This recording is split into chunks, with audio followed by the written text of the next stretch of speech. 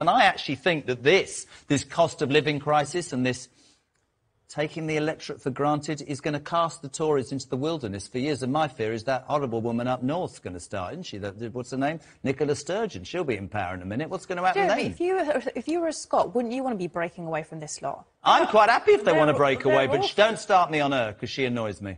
Don't start me on just ignore Nicola. her, apparently. What do you not think so? What's she got to do with anything?